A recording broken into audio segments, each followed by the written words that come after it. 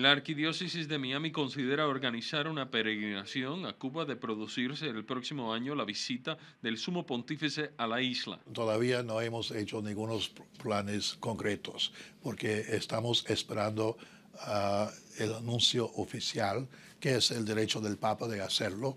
Ah, y, ah, como tenemos entendido, va a ser el 12 de diciembre porque es la fiesta de Guadalupe y, vamos a ver, ah, yo creo que será en la primavera o, o, quizá ah, en ah, marzo, abril, mayo. más tarde que mayo yo creo que no, porque entonces el calor va a hacerle al Papa más difícil eh, viajar.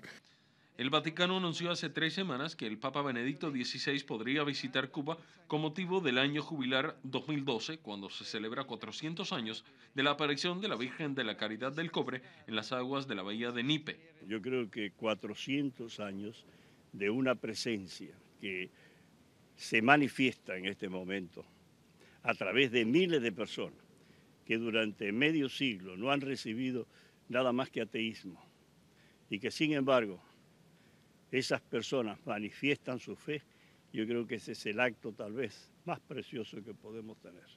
La visita del Papa Benedicto XVI sería la segunda visita de un sumo pontífice a la isla, después que Juan Pablo II visitó Cuba en el año 1998. Monseñor Román también habló de los logros de la Iglesia Católica en la isla referente a la situación actual. Pero me parece que el trabajo que hizo el cardenal fue un trabajo extraordinario.